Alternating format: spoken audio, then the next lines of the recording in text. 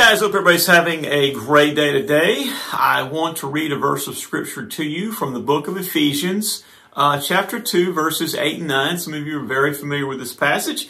It says, For by grace have you been saved through faith, and not of yourselves. It is the gift of God, not of works, lest anyone should boast.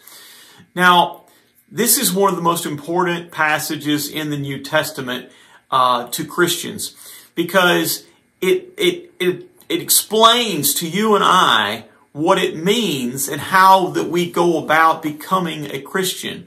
You know, when Jesus told Nicodemus uh, in John chapter 3, For God so loved the world that he gave his only begotten Son, that whoever believes in him should not perish but have everlasting life.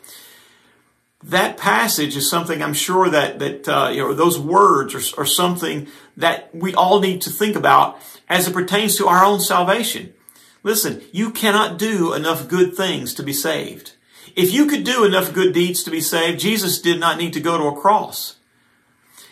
Our salvation is dependent upon His mercy and His grace and the fact that we ask for it. One of the examples that I always use is I hand, you know, I have a dollar. I don't have one in my hand right now, but if I have a dollar and I'm going to hand it to someone and I ask the person, is this your dollar while it's still in my hand?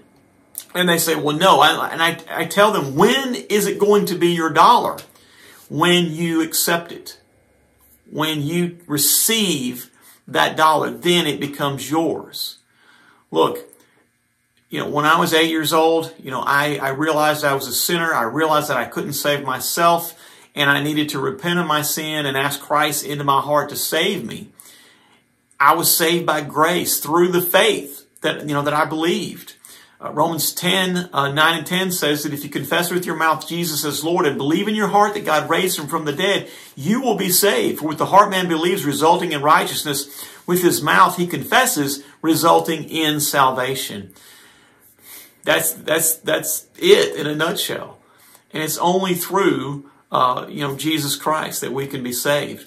You know, there are people out there that say, well, you Christians, you know, you, you're, you're kind of eliminating a lot of the people other faiths saying that you're the only people that can go to heaven. No, anyone who believes in Christ, anyone that asks and receives uh, for this salvation, repents of their sin, can be saved.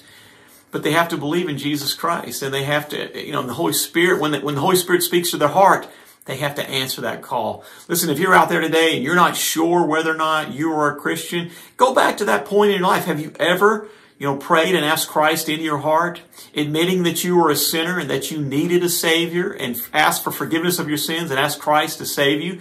If you've never done that, if you never prayed a prayer like that before, then you need to go back. If you've ever said some words, maybe you were, some of you guys, you know, we talk about this all the time. If you, we, have been at youth camps and, and, you know, a lot of times students will repeat, um, prayers that other people say say amen. If you're not for sure that you really meant those words, you need to go back to that time. Listen, God knows our heart. We only know what we see and what we hear from other folks. Anyway, guys, I hope that these words help you. If you know for, sure that you're a Christian, praise God. If you're not sure and you'd love to talk to me about it, I, you know, give me a call, text me, message me, and I'd love to sit down with you.